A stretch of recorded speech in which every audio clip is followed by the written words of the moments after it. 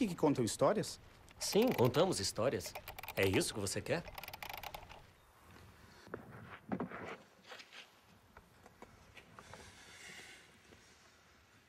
Bom, o meu nome é Caio e. Veja bem, não me leve a mal, não, viu? Eu tô meio nervoso. Eu sou um cara tímido, introvertido, ansioso por natureza, sabe?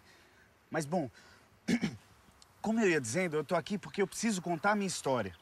Mas não é minha história passada, não. É minha história futura. Ou presente, se a gente já puder começar. Já pode começar? Depende.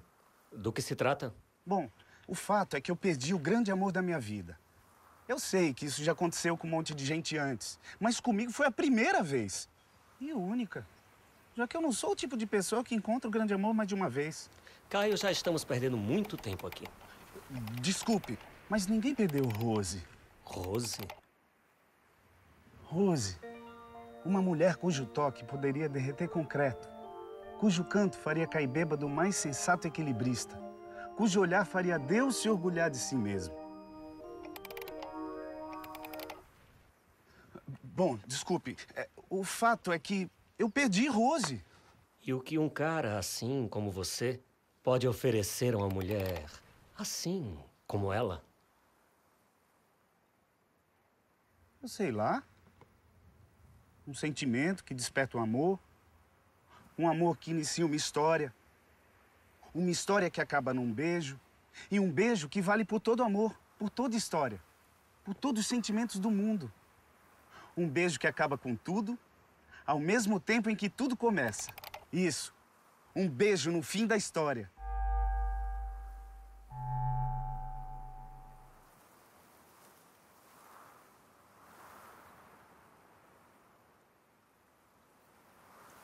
Sim, senhor. Isso vai dar um ótimo curta-metragem. O quê? Um curta-metragem? Ah, sim. Se eu fosse você, ia começar logo, porque você só tem 15 minutos.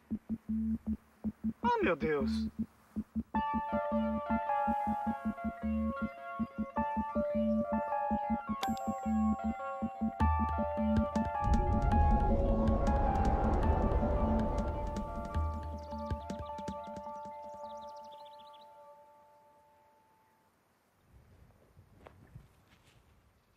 Você não vai ficar o dia todo, vai? Ah, é você, é? O turno acabou, achei que você ia querer algumas dicas. Dicas? Eu tenho 14 minutos e 36 segundos para pegar esse ônibus, encontrar o amor da minha vida no meio de uma cidade imensa e ainda convencê-la a ficar comigo. O que vai ser difícil. Que tipo de dica você pode me dar? Tipo, para de reclamar, por exemplo? Ia perder menos tempo. Mas o que, que eu posso fazer? Daqui para a cidade grande são mais de 5 horas de viagem. Você não entendeu, né? Isso aqui é uma história. Sua história. As regras são suas. Suas.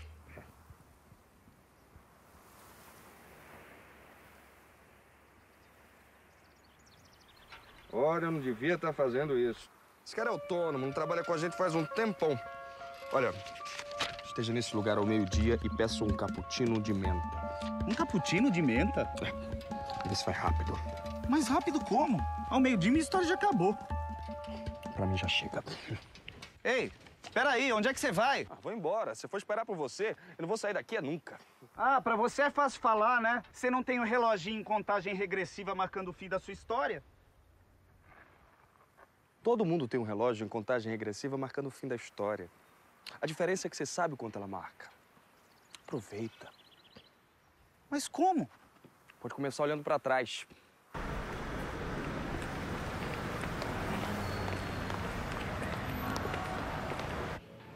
Favor, um cappuccino de menta, rápido.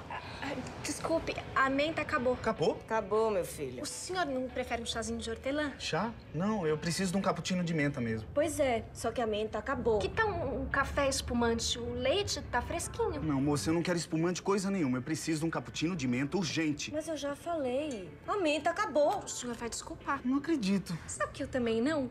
Quase ninguém pede menta. E de repente ela acaba. Olha, escuta aqui, essa conversinha tá demorando demais. Eu preciso de um cappuccino de menta agora. Ih, eu acho que você tá precisando mesmo é de um suquinho de maracujá. É, eu já vou preparar pro senhor. Eu vou com você. Desculpa, o senhor precisa de ajuda? Só se eu puder me arrumar um cappuccino de menta. Ah, veja bem, eu não sei fazer café, mas talvez eu possa ajudar você a contar alguma história.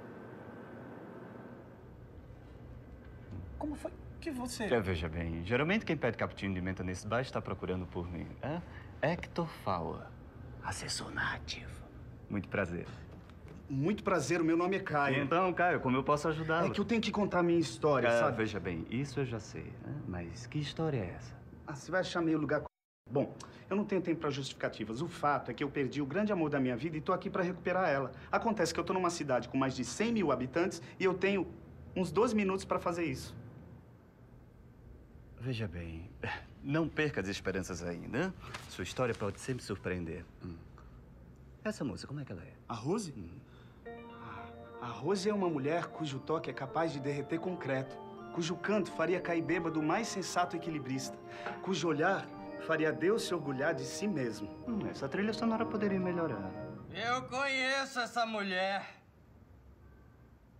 Essa mulher aí que você falou? Eu conheço ela. Hã? É, ela canta toda noite num bar no centro. Vocês deviam ir lá.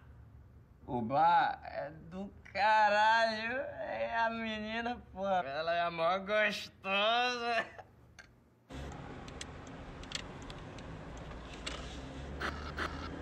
O que, que tá acontecendo? Hã? Ah, ah, bem, estamos num táxi a caminho do bar. Não, eu sei. Eu quero saber por que, que a gente tá assim, tipo. Ih, desenho animado. Hã? Ah, sim, claro. Veja bem, isso é tudo uma questão de linguagem moderna, experimentalismo de imagem, essas coisas. Pensei que tinha sido aquele suco de maracujá. Não tô isso. É bem que eu senti um gosto estranho.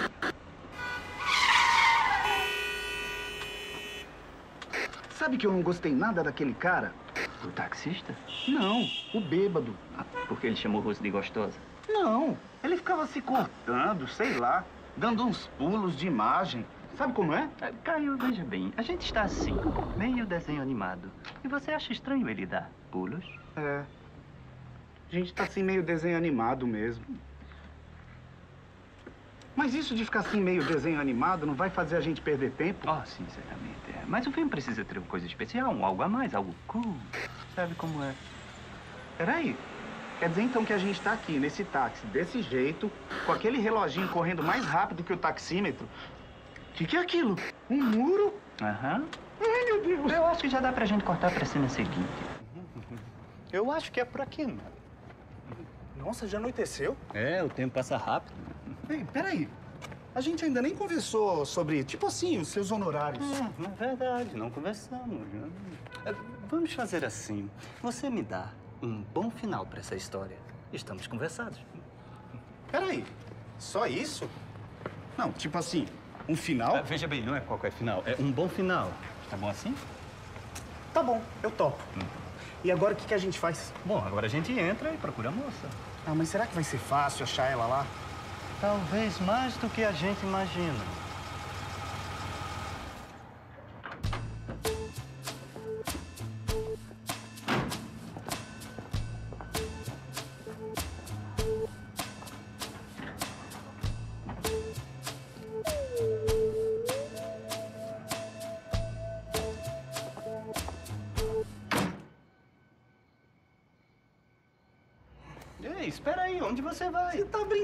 A vida dela tá muito melhor agora.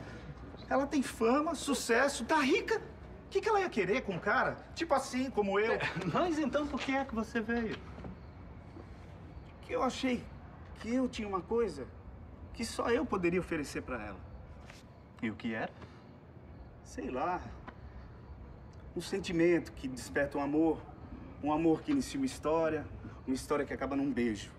Um beijo que vale por todo amor, por toda história, por todos os sentimentos do mundo. Um beijo que acaba com tudo ao mesmo tempo em que tudo começa. Um beijo. É. Um beijo no fim da história. Me parece uma boa causa. hum? Ei, peraí. O que, que você tá O fazendo? que parece, tô trazendo você de volta pra história. Não, não adianta. Ó, pra mim Não acabou. acabou nada, ainda faltam 7 minutos e 40 segundos e você ainda tem um bom final pra dar isso tudo, Ei, né? mas por quê? É, veja bem, primeiro que eu quero garantir meus honorários. E depois, hum, essa história merece um bom final. Você, tipo assim, acha mesmo? Acho. Aliás, já estamos perdendo muito tempo aqui fora, né?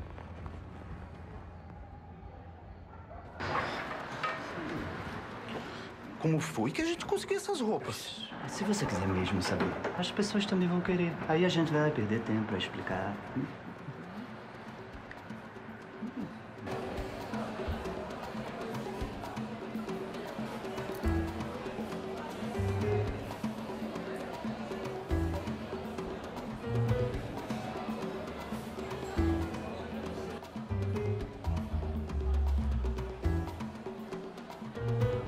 Agora? Ah, Agora a gente espera a moça aparecer. Ei, você! Traz o Martinho. Seco e rápido. Eu conheço esse garçom. Um martini seco e rápido. Muito bem. Vamos ver se você aprendeu.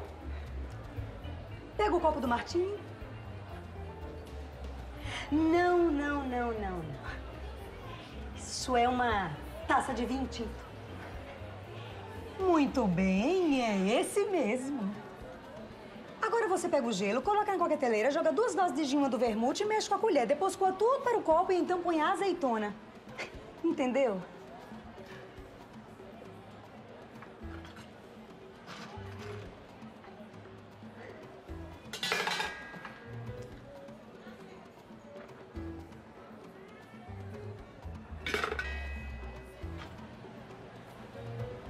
Pra mim já chega. Dá licença.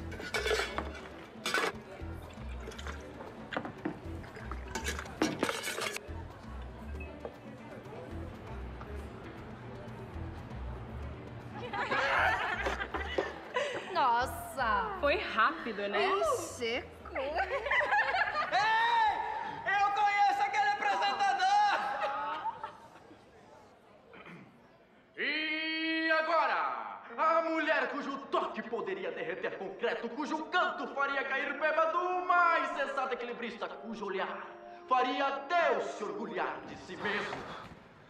Ai, vai logo. E aqui está ela, senhoras e senhores, com vocês.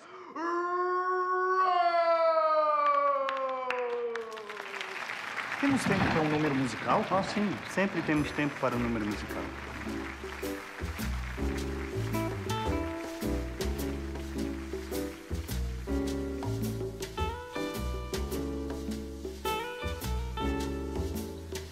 Você gosta de histórias de mistério, isso tanto faz. Tudo que eu quero são respostas claras, nada demais. Se o seu caso de polícia é um descaso de amor. A minha lógica se arrisca num processo indolor.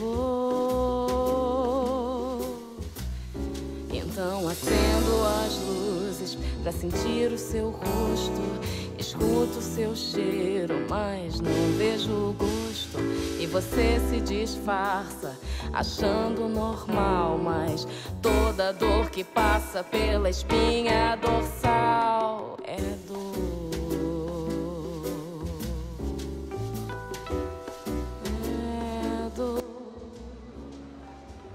É esse o cara. É? Eu não me lembrava de você. Ah, olha, eu posso explicar, viu? Pode mesmo? Então explique. É, é que eu não tenho tempo pra muita coisa. Ah, então é por isso que você consegue preparar um martini em menos de 10 segundos. Quê? Será que você tem tempo para ser o nosso novo barman? Não, mas eu só... Olha só, o salário não é dos piores. E você ainda pode ser escolhido funcionário do mês. Você ganha essa linda lembrança para decorar sua sala. Ainda tem direito a uma volta de charrete no quarteirão. Tá bom, eu topo. Ótimo. Então pode passar aqui na segunda-feira. Segunda-feira, podem esperar por mim. Sentados. Segunda-feira. Aí, Hector, não vai dar tempo. Como? É. Olha lá, eu tenho menos de três minutos. O que, que eu faço? É, é, veja bem, é, es- estamos perto do final, certo? Bom, Bom, é, agora é com você. O quê? Ah, meu Deus. Rose! Que merda é essa? Oxi, você cai, ué. O que você tá fazendo aqui? Eu sei que você está pensando que um cara assim, sem importância como eu, jamais ia sair da cidadezinha sem importância dele, largando uma vida sem a menor importância para vir atrás da única coisa que realmente tem importância na vida dele. Então, se você pensou que um cara assim como eu jamais faria isso, esse foi o único erro que você cometeu, Rose. Caio. Eu sei que agora você tá bem de vida e coisa e tal, mas olha, você pode ficar aqui. Caio, para com isso. Sabe, eu consegui um emprego de barman, começo aqui na segunda-feira. Caio, você não tá entendendo. Eu ia explicar pra eles que segunda-feira a minha história já ia ter acabado, mas daí não ia. Caio!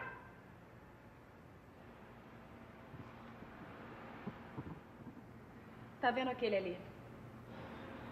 Ele é o dono desse lugar e ele vai matar você se você não parar com isso agora. Parar? Mas, mas, Rose, como é que eu posso parar? Como é que eu posso parar diante de uma mulher capaz de derreter concreto com um toque? Ah, não. Cujo canto faria cair bêbado o mais sensato De equilibrista. Cujo olhar faria Deus se orgulhar de si mesmo. Puta que pariu. Gente, eu não aguento mais E isso. que além de tudo, é o único amor da minha vida.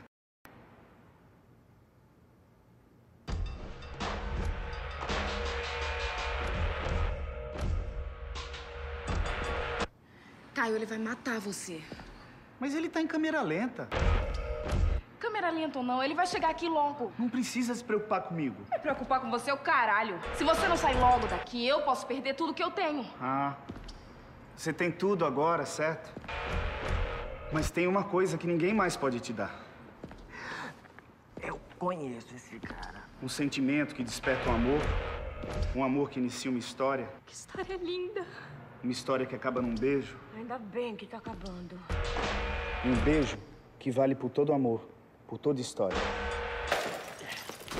É, desculpa, ele precisava de mais um tempinho. Por todos os sentimentos do mundo. Um beijo que acaba com tudo.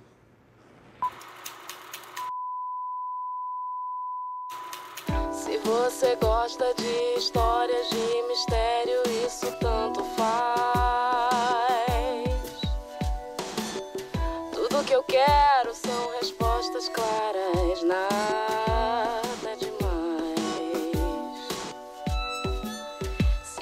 Seu caso de polícia é um descaso de amor. A minha lógica se arrisca num processo indolor. Então acendo as luzes pra sentir o seu rosto. Escuto o seu cheiro, mas não vejo o gosto. E você se disfarça, achando normal. Mas toda dor que passa pela espinha dorsal é dor.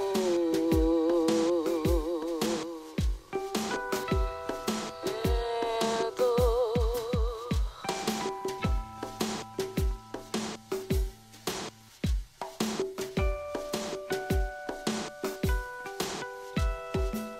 Se as pistas que você me deixa são tortuosas demais.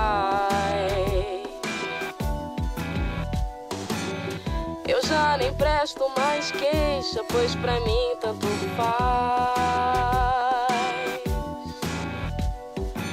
Se o caso que você queria era um processo indolor. E se até a luz do dia o seu filme é sem cor?